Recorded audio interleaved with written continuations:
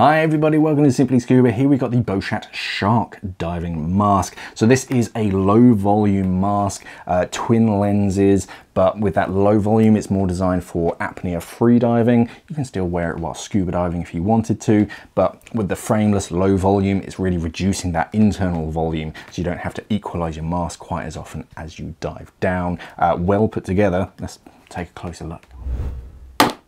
This is how it arrives in a pretty traditional mask box. Um, yeah, nothing uh, sort of unusual about that.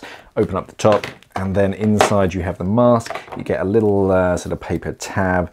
Um, just notice about the uh, the mask is just going to be safety information, the usual stuff. Um, you got a couple um, stickers on the lenses that will just peel straight off. Uh, so yeah, let me tidy it up and we can take a closer look at the mask itself.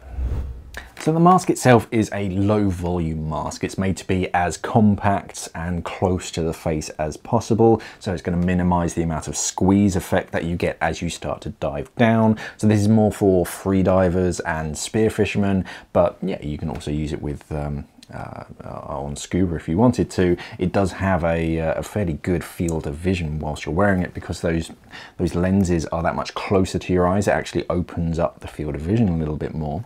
Um, the nose pocket itself it has a thicker section of silicone over the front of your nose and underneath, but on the sides it's much thinner and it's texturized as well, so it's much softer, easier to uh, to equalize. And if you're using a, uh, a nose plug, something to, uh, to pinch on your nose. it's just much easier and a bit more comfortable. The lenses themselves, these are tempered glass, but they're ultra clear glass, so they've had a lot of the impurities that you usually find in cheaper glasses. Um, they've had all of those impurities removed, so it allows for a better amount of light transmission and a truer representation of what you're seeing underwater. This is very much sort of optical grade glass, so it's allowing real colors to come through and they're untainted by impurities that you get on cheaper glasses. This is frameless. You don't have a frame, so the silicone skirt is overmolded onto the actual glass, uh, and that helps to reduce that internal volume as well.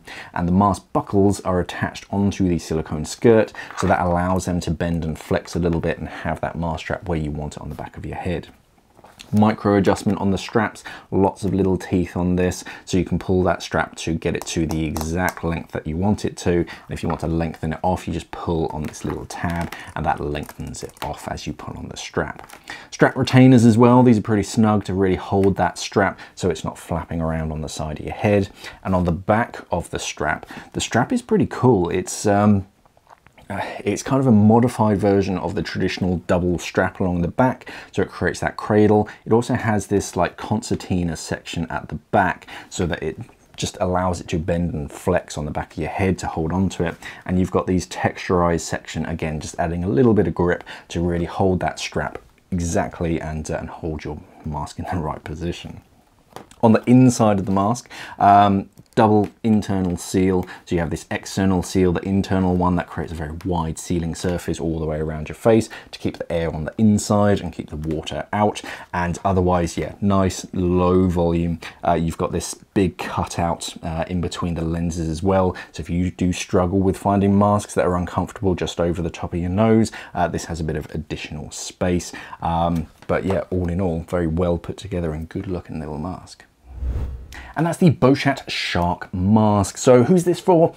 It's really designed for freedivers and spear fishermen, um, but yeah, snorkeling and scuba diving, I'd be quite happy diving with it as well. It's low volume, so that's gonna help prevent that squeeze effect as you go down, but otherwise, I very much like the style of it and the overall finish is very good. You've got these um, sort of mixtures of matte and this gloss finish to the skirt uh, that just gives it a really nice look and, and feel. I do like that nose pocket as well, makes it a lot easier to, uh, to equalize.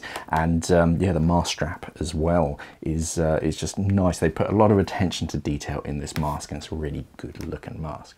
Now, there's going to be more information on our website, simplyscuba.com. There's going to be a link down in the description below and a little card up here that's popped up. Click on that, and I'll take you over to simplyscuba.com where you can buy it from us. Thank you for watching, everybody, and of course, safe diving.